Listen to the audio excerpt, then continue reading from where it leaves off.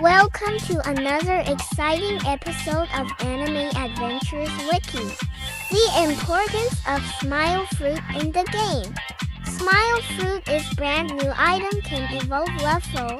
Fuji, Wow, Sabi, obtained from Puppet Portal Infinite, Portal, and Lao's daily mission. Happy farming, adventurers!